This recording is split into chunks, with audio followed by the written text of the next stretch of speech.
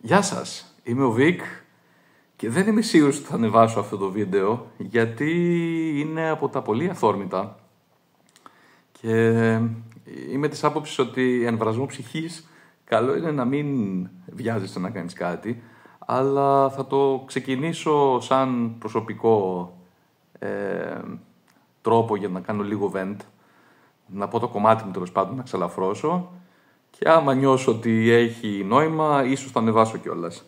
Λοιπόν, προφανώς περί black metal, merciful fate, πρώτου κύματος, δευτέρου κύματος και όλο το χαμό που έχει ξεκινήσει τον τελευταίο καιρό ε, στο αγαπημένο μας metal YouTube.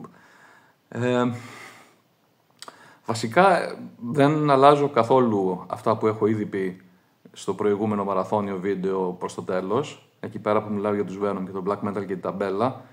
Ε, κυριότερα θέλω να σταθώ στο κομμάτι, παιδιά δεν είναι να μαλώνουμε οι ταμπέλες. Οι ταμπέλες είναι για να συνεννοούμαστε. Ε, και, και οι δύο πλευρές έχετε κατσικωθεί. Έχετε πεισμώσει με έναν τρόπο το οποίο δεν τον καταλαβαίνω γιατί. Ε, κρύβει από πίσω προσωπική, προσωπικό θέμα που έχετε μεταξύ σας. Δεν είναι τώρα αυτό το πράγμα ε, διακύβευμα, ας πούμε, να το κάνουμε θέμα. Πω πω τι ακούστηκε στο YouTube και τι θα πει ο κόσμος και τι θα μάθει ο κόσμος. Θέλουμε να ακούει μουσική και να γουστάρει. Αυτό είναι το πρώτο πράγμα. Από εκεί και πέρα τα ιστορικά καλά είναι να τα ξέρουμε και να τα λέμε σωστά. Αλλά αυτό το πράγμα το οποίο είδα τελευταία, ότι υπάρχει μια πλευρά του Νίκ και του Λάμπρου που λένε ότι η ιστορία είναι με το μέρος μας, αυτά είναι καταγεγραμμένα και πάει και τελείωσε. Παιδιά, δεν είναι τόσο απλά τα πράγματα. Καταρχάς, ε, δεν έχω ακούσει αντίλογο ως προς αυτό, ότι η ταμπέλα black metal, που το είπα, προφανώς και υπήρχε στα 80s, εννοείται ότι υπήρχε στα 80s και δεν ήταν ας πούμε μια obscure χρήση, αλλά το χρησιμοποιούσαν κανονικότατα, τακτικότατα, ε, από το black metal και μετά τον Venom στο Metal Forces που υπάρχει από το 83 το Metal Forces, έτσι, να το λέμε και αυτά. Ε, εκεί, πότε Μάιο βγήκε το πρώτο τεύχος, δεν είμαι σίγουρος και όλα δεν. Ε, να πω επίσης, τα έχω όλα τα Metal Forces σκαναρισμένα και τα έχω και εύκαιρα. Δεν είναι σε κάποια κούτα μέσα. Μπορώ να τρέξω εύκολα σε αυτά. Αλλά θυμάμαι κάποια highlights γενικά. Και γι' αυτό θέλω να πω ότι ε, επειδή κυριαρχούν τα πάθη, ε, και η ανάγκη ας πούμε να την πούμε στον άλλον και να υπερασπιστούμε τον εαυτό μας ε, που λέγονται πράγματα τα οποία είναι μπαρούφες. Ε, ο Bernard Doe είναι το κεφάλι των, του Metal Forces, μαζί του Dave Constable, αυτοί οι δύο ήταν που το είχαν το Metal Forces και ήταν και δύο-τρεις ας πούμε συγκεκριμένοι συντάκτες που ήταν σε αυτά τις καφρίλες ας πούμε και γράφανε, ο Reynolds είναι ένας άλλος. Ε, ναι. Ο Μπέρναρντ λοιπόν, που είναι το Ευαγγέλιο και εφόσον το είπε και γράφτηκε, ε, προσπάθησα να το πω απ' έξω απ' έξω, γιατί δεν με ενδιαφέρει εγώ να, να εκθέσω κάποιον και να πω τι μπαρούφες λες, αυτό που είπες είναι λάθος. Ε, ειδικά όταν είναι προσωπικό. Αυτό είναι που με ενοχλεί. Με ενοχλεί, παιδιά, αυτό το, το back and forth, ότι εσύ είσαι άσχετος, όχι, εσύ είσαι άσχετος, εσύ είσαι κομπλεξικός, όχι, εσύ είσαι άσχετος. Και Αφήστε ρε παιδιά ο καθένας να κάνει τι θέλει και αφήστε τον κόσμο μόνο του. Δηλαδή δεν υπάρχει. Άμα με αυτόν τον τρόπο υποτιμάτε τον θεατή.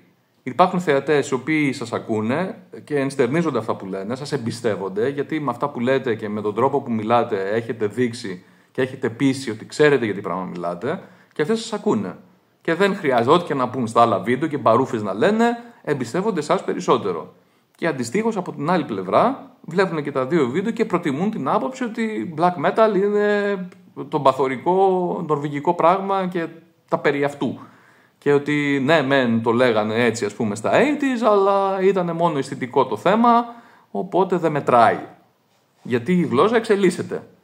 Και όπως την χρησιμοποιεί ο λαός, αυτό είναι. Όπως και η ταμπέλα Power Metal στην αρχή αναφέραν τους θρασάδες περισσότερο και γενικώ όπως ήταν πιο βαρύς από τους Maiden, ας πούμε, ήταν Power και τελικά κατέληξε να είναι γενικά το Power που ξέρουμε. Και τα άλλα ονομάστηκαν φράση ή ονομάστηκαν κάτι άλλο. Αλλά σας το, έλεγα, το έλεγα λοιπόν στο βίντεο απ' έξω απ' έξω ότι στην πρώτη, στο πρώτο μισό της δεκαετίας οι ταμπέλες ήταν φοβερά ρευστές. Υπήρχε αυτή η κοσμική αρχαίγονη σούπα τέλος πάντων του metal που μέσα υπήρχαν πράγματα τα οποία κατέληξαν και μέστοσαν ε, προς το, στο δεύτερο μισό της δεκαετίας ή στις αρχές της επόμενης που εκεί παγιώθηκαν οι ταμπέλες. Και όταν λέω παγιώθηκαν, δεν εννοώ ότι υπάρχει ένα άιζο που αποφάσισε να αυτός είναι ο ορισμός τελείωσε, δεχτείτε τον. Και δεν υπάρχει κανένα ένα resource το οποίο μπορεί να πεις πήγαινε διάβασε εκεί πέρα, αυτό είναι. Ούτε το Metal Forces είναι, ούτε το metalkingdom.net είναι, ούτε το Metalum είναι, ούτε το Read Your Music είναι. Είναι γενικώς η πλειοψηφία. Είναι η κοινή γνώμη. Είναι η κοινή χρήση. Οι, οι λέξεις σημαίνουν κάτι για όλους. Και η αλήθεια είναι ότι μουσικά μιλώντας το black metal έχει επικρατήσει να είναι αυτό το πράγμα. Και με αυτά τα δεδομένα, πρώτο Black είναι η Venom, είναι η Hellhammer, είναι η Celtic Frost, είναι ε, η Master's Hammer και όλοι αυτοί και φυσικά η Bathory, αλλά δεν ε, έμεινε να λένε πρώτο Black τους Mercyful Fate. Ε, το Mercyful Fate τους λένε Black, αυτοί οι οποίοι επιμένουν ότι το Black είναι, είναι κάτι παραπάνω από ένα μουσικό είδος, είναι ατμόσφαιρα, είναι feeling, είναι σκοτάδι, είναι τέτοια. Και εντάξει, okay, οι μπλακάδες γενικώς τα παίρνουν σοβαρά αυτά τα πράγματα. Ε, και ναι, και εγώ το συμφωνώ. Το, το Don't Break the Oath είναι πιο σκοτεινό και πιο σκιαχτικό και πιο πιστικό από όλη την Νορβηγία μαζί, όλη τη Σκανδιναβία και όλη την Ευρώπη κτλ. Αλλά στην, στον μέσο μεταλλά το Don't Break the Oath είναι ε, ένας από τους πυλώνες του heavy metal. Δηλαδή, heavy metal παίζουν προφανώς οι Merciful Fate. Και επειδή αναφέρεται τόσο πολύ το Metal Forces και παιδιά στο Metal Forces το είπα και στο βίντεο αλλά δεν, δεν με πιστεύουν φαίνεται ή όπως είπε το παιδί ε, Κάποιος είπε, καλά, κάτσε και ακούς τον YouTuber που κάνει 3,5 ώρες βίντεο. ε, ναι, εδώ που τα λέμε έχει ένα δίκιο το παιδί. Για να μιλάει 3,5 ώρες ένας για metal, ας πούμε, πρέπει να είναι βλαμμένος, καμένος δηλαδή. Δεν είναι να τον πάρεις σοβαρά και δεν έχω να απαντήσω κάτι σε αυτό. Έχει πάντων δίκιο. Αλλά ε, προς υπεράσπιση μου, απλώς είμαι, αγαπάω πολύ το αντικείμενο και μπορώ να μιλάω και 3,5 ώρες ερή ε, χωρίς σταματημό και χωρίς να πιω μια γουλιά νερό που λέει και ο φίλος ο Νίκος. Αλλά έλεγα ότι στο Metal Forces έχουν γραφτεί και μπαρούφες. Και από τον Μπέρναντό που τον, τον έχω σε τεράστιο respect. Ο Μπέρναντό, παιδιά, αν ε, βρείτε, γιατί υπάρχουν online κάπου, άμα ψαχτείτε δεξιά και αριστερά, κάπου θα τα βρείτε τα Metal Forces και όχι μόνο τα Metal Forces, όλο τον τύπο της εποχής, σκαναρισμένο. Ε, και όποιος έχει όρεξη για μελέτη μετά, βουρ. Μπορεί να διαπιστώσει όμως αυτό που σας λέω. Πρώτον, ότι ήταν πάρα πολύ ρευστές ταμπέλες και τις χρησιμοποιούσαν με πολύ ελαστικά, πολύ ελεύθερα. Ε, και ο Μπερναντό που ήταν ε, μια μίξη, να φανταστείτε, Βενέρη και Λόρντ. Βενέρης στο πόσο ψάξιμο έριχνε και στο πόσο έσκαβε ε, και βοήθησε να ακουστούν ονόματα, ακόμα για τους Χελχάμερ, τους οποίους συχαινότανε. το θάψιμο που έχει ρίξει ο Χελχάμερ δεν υπάρχει. Ε, Αυτός τους έκανε γνωστούς. Οι Hellhammer υπάρχουν λόγω του Bernard σαν στη συνείδηση των μεταλλάδων. Από το Metal Forces γίνανε γνωστοί οι Hellhammer. Και γίνανε γνωστοί σαν το απόλυτο συγκρότημα πώς ήταν ο Λάκος με τα κολοδάχτυλα στην ελληνική σκηνή στο Metal Hammer. Αυτό ακριβώς ήταν το πόστερ, η Hellhammer. Έχουν γραφτεί και για το Triumph of Death και για το Apocalyptic Rage και για το Satanic Rites πριν, τον το δεύτερο. Γενικώς έχουν γραφτεί. Πολλοί χοντράδες, ας πούμε, ε, για τους Hellhammer από τον Μπερναντό, ο οποίος όταν τα έπαιρνε στο κρανίο ή όταν ε, τον έπιανε ο ίστρος της έμπνευσης, τα έχουν καλά. Λοιπόν, ο Μπερναντό, ε, παρόλο που δεν ήταν αυτός νομίζω που είχε κάνει την κριτική στον Don't Break the Oath, πρέπει να ήταν ο Constable. Αλλά ε, στο τεύχος, για να μαθαίνουμε λίγο ιστορία τώρα, στο τεύχος που υπάρχει κριτική στο Don't Break the Oath που είναι το black metal album όπως αναγράφεται όντως σε αυτή την κριτική, ε, έχει πάρει 9 το Don't Break the Oath. Στο ίδιο τεύχος υπάρχει κριτική για το Red Lightning που έχει πάρει 10 το οποίο χαρακτηρίζεται ως ο δεύτερος death metal δίσκος των Metallica και στο, το Don't Break the Oath χαρακτηρίζεται ως Death Speed Black. στο Metal Forces, το Ευαγγέλιο. Ε, είναι όπως μου λέγε και ο φίλος μου ένας άλλος Νίκος, είναι, έχω αναφερθεί σε τρεις Νίκους, ε, ε, μου έλεγε εδώ ο Βενέρης έχει γράψει τους Exciter Nuclear Metal. Και, του είπα, είναι προφανώς ο καθένας έψαχνε να βρει κάτι εντυπωσιακό ας πούμε, για να περιγράψει το πόσο βαρύ του ακούστηκε κάτι. Δεν είναι να το πάρεις, ας πούμε, από εδώ και πέρα υπάρχει το nuclear metal είδος και οι Exciter παίζουν nuclear metal γιατί το είπε ο Βενέρης. Δεν παίζει αυτό το πράγμα και αντίστοιχα τώρα ό,τι είπε ο Μπερναντό ας πούμε δεν είναι Ευαγγέλιο. Και εντάξει, ο άνθρωπος για, να, ε, για να προβοκάρω και λίγο, που να δείτε για τους Manowar τι έχει γράψει. Την παρούφε έχει γράψει για τους Manowar.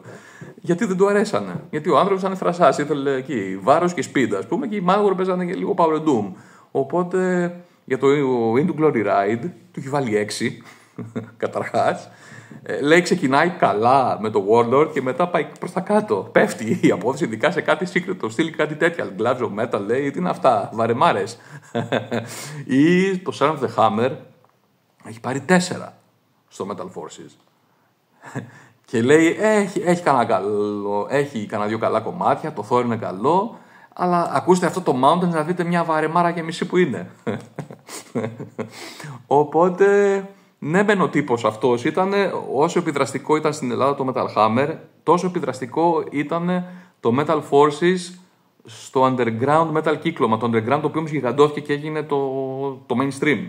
Πριν γίνει mainstream, το περιοδικό αυτής της σκηνής όλης και ενώ thrash και extreme και τα πάντα όλα ήταν το Metal Forces, όντως. Και το Kerrang, ας πούμε, ήταν το πιο mainstream και πιο trend και υπήρχαν και μπιχτές, ας πούμε, προς το Kerrang ε, μέσα στο Metal Forces. Ε, στυλ Metal Invader που τα χώνει στο Hammer, ας πούμε, απ' έξω απ' έξω. Κάτι τέτοια τα κάνουν, ας πούμε, και στο Metal Forces. Υπήρχε δηλαδή μια τέτοια δυναμική. Αλλά ε, φυσικά ο Μπέρναρντο ήταν μεγάλη μορφή και τον, τον διαβάζανε και τον παίρνανε σοβαρά, αλλά ουδής αλάθητος. και έχουν γραφτεί άπειρες παπαριές. Και παπαριές είναι λάθος λέξη, δεν είναι παπαριές ακριβώς. Απλώς είναι πράγματα τα οποία γράφτηκαν πολύ πρώιμα. Δηλαδή το τι έχει χαρακτηριστεί το death metal που λέμε death metal 84 ή possessed seven churches, που και για μένα το seven churches παρεμπιπτόντως αυτό ήταν για μένα ε,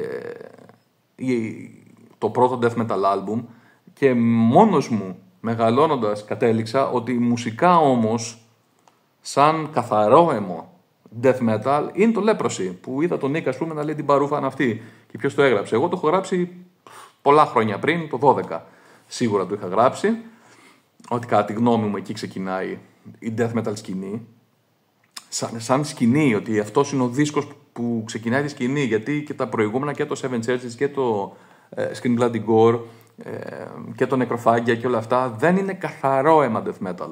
Μουσικά μιλώντας. Σαν ταμπέλες όμως που λέμε ότι ε, μετράει τι έχει γραφτεί. Το death metal, παιδιά, το 83 υπήρχε σαν, όρο, σαν όρος. Στο Metal Forces γραφότανε για το death metal. Και death metal τότε σήμαινε ό,τι βαρύτερο ε, και κάφρικο. Ό,τι είναι πιο κάφρικο και πιο βαρύ είναι death metal και θα μπορού, χαρακτηρίστηκαν death metal και η Merciful Fate. Ότι παίζουν heavy και είναι τόσο heavy και σκοτεινό αυτό το πράγμα που είναι death metal. Και εντάξει, δεν είναι death metal. Τι να κάνουμε. Ε, οπότε μ' αρέσει να γίνονται με οι κουβέντες οι ιστορικές πάρα πολύ. Είμαι απόλυτα καμένος. Αλλά ε, να γίνεται κουβέντα για να.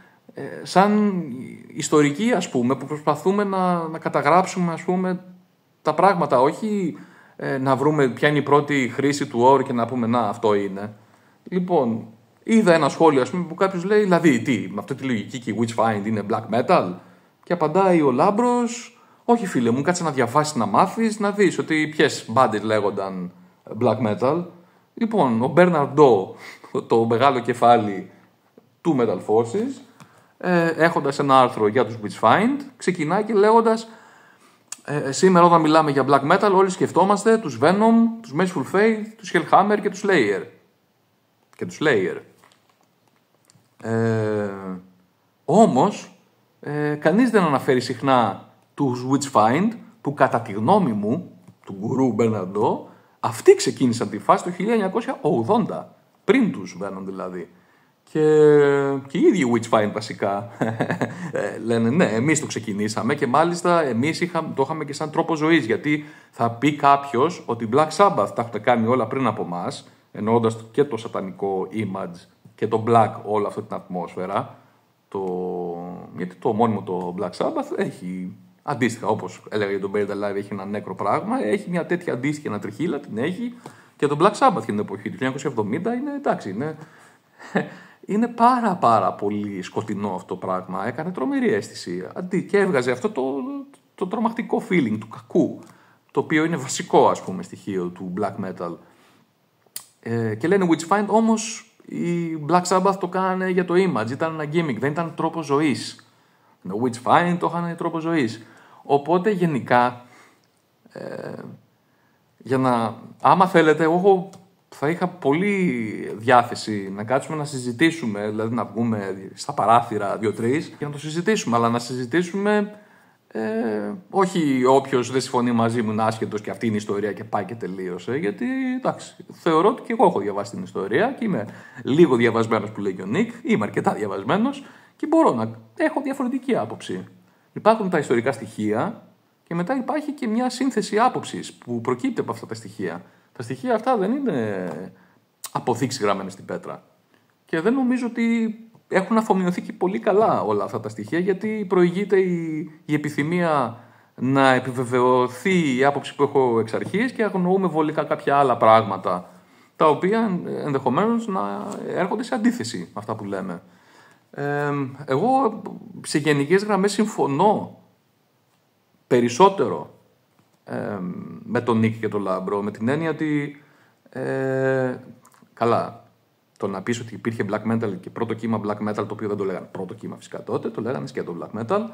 Ε, Προφανώς υπήρχε, το έχω ξαναπεί και πριν όλα αυτά τα βίντεο, ότι εννοείται υπήρχε και εννοείται το χρησιμοποιούσαν και πάρα πολύ και ήταν οποιοδήποτε ένας σατανιστή και δεν ήταν μόνο η Venom και η Merciful Fate και η Hellhammer και η Celtic Frost. Ήταν όλοι που είχαν σατανίλα και η Running Wild και η Iron Angel που αναφέρθηκε σε κάποιο σχόλιο και γενικώ όποιος είχε πεντάλφα ανάποδο σταυρό τράγο ήταν black metal. Αναγκαστικά. Μόνο που το black metal αυτό, σαν αν διαβάσετε γενικώ το Metal Forces, που για κάποιο λόγο θα το πάρουμε σαν την απόλυτη πηγή ας πούμε της εποχής, που δεν νομίζω ότι ισχύει. Ε, και υπάρχουν τρομερές αντιφάσεις γενικώ και μέσα στι Metal Forces αλλά και σε συνεντεύξεις πρωταγωνιστών. Γιατί βλέπω πετάγονται ονόματα, το έχει πει αυτός, το έχει πει εκείνος, δεν ξέρουν αυτοί, ξέρουν αυτοί τώρα, αν είναι δυνατόν. Ε, και αυτοί που οι μπλακάδες γενικώς έχουν πέσει πολλές φορές αντιφάσεις και τα αλλάζουν με τα χρόνια και αλλάζουν και γνώμη με τα χρόνια. Ε, παρακολουθήστε, ας πούμε, και το περίφημο βίντεο του Φενρίζ που είναι με το μαύρο πίνακα και κάνει σαν το σκούλο βρόκα, ας πούμε, αλλά για το black metal. Ε, αναφέρει φυσικά Venom, αναφέρει Sodom, αναφέρει Merciful Fate και λέει τι έδωσε ο καθένας στο black metal. Και λέει ότι τα λέγανε αυτά black metal εκείνη την εποχή, αλλά φτάνει στους Μπάθοροι και ενώ τους γράφει όλους Venom, Merciful Fate, ε, Sodom κτλ. Στους Μπάθοροι γράφει Μπάθοροι και το γράφει κάθετα. Κάθετα. Ότι εδώ έχουμε, όπα, και λέει το πρώτο Μπάθορι, εντάξει, πιο πολύ θράση ήταν ε, και το Return πιο χάος λίγο και πιο έτσι λίγο death. Αλλά εντάξει, το τρίτο, το Under the Sun Black Mark, προφανώς αυτό είναι που μοιάζει περισσότερο με αυτό που ξέρουμε σαν black metal και γυρνάει και στην κάμια κάνει duh.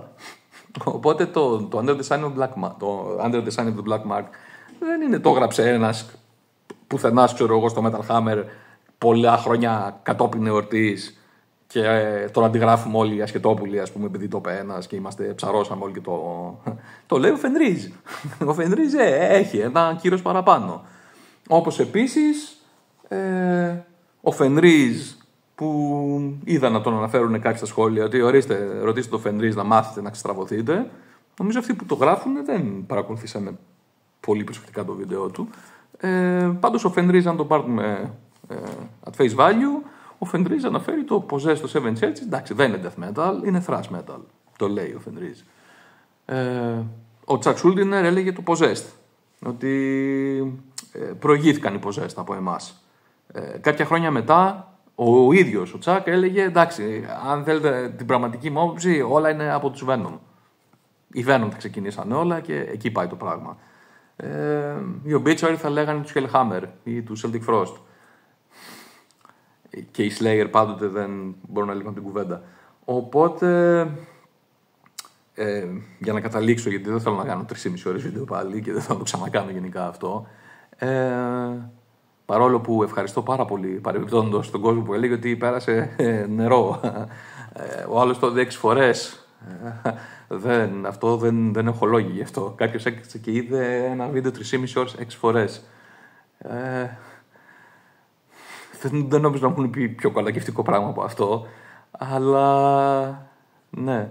Ε, ευχαριστώ πάρα πολύ, αλλά γενικά ε, ναι, δεν νομίζω ότι θα ήθελα να το ξανακάνω αυτό το πράγμα. Ε, εμένα προσωπικά δηλαδή μου χτυπάει ότι σαν ε, Ποιος είσαι ρε φίλε και κάνεις 3,5 ώρες βίντεο. Δηλαδή, αν με βλέπατε στο βίντεο που αγχώνομαι 3 ώρες, αν είναι δυνατόν 3 ώρες, ε, γι' αυτό και βάζω τα κεφάλαια. Από το πρώτο πρώτο βίντεο που έκανα, που ήταν 50 λεπτά, ας πούμε, έβαλα κεφάλαια. Λέω, αν είναι δυνατόν, ποιος θα κάτσει να δει 50 λεπτά ένα βίντεο στο YouTube; Να βάλει τα κεφάλαια, να δει ότι γουστάρει τουλάχιστον. Να είναι διαχειρίσιμο. Και το ίδιο ακριβώς συμβαίνει και με τα 3,5 ώρες και. Ε, εντάξει, αυτό ελπίζω να. Δεν, δεν κάνω πρόληψη. Αλλά ναι. Οπότε καταλήγω για να κλείσω. Πολύ ευχαρίστως να κάνουμε όλη αυτή την κουβέντα και νομίζω θα είναι πολύ ενδιαφέρουσα κουβέντα και θα μάθει και ο ένας από τον άλλον, γιατί κανείς δεν μπορεί να τα ξέρει όλα. Αλλά να, να, να την κάνουμε την κουβέντα με διάθεση να σεβαστούμε την άποψη του άλλου. Αν ξεκινήσουμε απριόρι ότι είσαι άσχετος κτλ. Δεν είναι ωραίο πράγμα, ρε παιδιά, αυτό. Και επειδή είπες ένα σωστό πράγμα, Λάμπρο, ότι κρυβόμαστε λίγο πίσω από το δάχτυλό μας και ο κόσμος ξέρει και καταλαβαίνει πολύ καλά. Ε, καταλαβαίνει ο κόσμος, αλλά ο κόσμος ενδιαφέρεται να παρακολουθήσει κάποια πράγματα ε, γιατί έχει παρέα εμάς. Μας βρίσκει παρέα, ας πούμε. Και στην παρέα του ο καθένας ε, ταιριάζουν τα χνότα του με κάποιον άλλον. Δεν είναι απαραίτητα να ταιριάζουν τα χνότα του με αυτόν που ξέρει καλύτερα από όλους. Ε, οπότε, ε, εγώ δεν νομίζω ότι είναι τυχαίο ότι έχω 500, ξέρω εγώ, 80 subscribers και κάποιος άλλος έχει 3.000 ή οι περισσότεροι έχουν πάνω από 1.000 και εγώ έχω 580. Γιατί πιστεύω ότι εντάξει, είμαι μπλαμπλαδόρες ρε παιδί μου και πρέπει να είναι... είναι σε λίγο κοινό το οποίο έχει όρεξη να ακούσει μπλα μπλα. Εντάξει, δεν είναι για όλους αυτό το πράγμα και είναι πάρα πολύ ok με αυτό το πράγμα. Είμαι πάρα, υπερβολικά πάρα πολύ ok με αυτό το πράγμα. Οπότε Πιστεύω ότι όλη αυτή η κόντρα υποκρύπτει άλλα πράγματα από πίσω, όχι καούρα για την ακρίβεια, την ιστορική πραγματικότητα κτλ. Κρύβει προσωπικές αντιπαραθέσεις, προηγούμενα, αντιπάθειες, ανασφάλειες, ζήλιες, εγωισμούς ε, και τέτοια πράγματα. Και ο κόσμος δεν είναι χαζός και το καταλαβαίνει. Και ο κόσμος πολύ μεγάλο μέρος αυτού γουστάρει να πάρει και μέρος αυτό. Εγώ είμαι με αυτόν. Και εγώ αντιπαθώ τον άλλον και συμπαθώ εκείνον και πάει κάπως έτσι το πράγμα. Okay, it is what it is. Ε, εγώ το είπα μία, το είπα δύο, το λέω και τελευταία και τρίτη φορά τώρα. Live and let live, παιδιά. Αφήστε τον κόσμο μόνο του να κρίνει ποιον γουστάρει να ακούει κτλ. Πείτε την άποψή σας.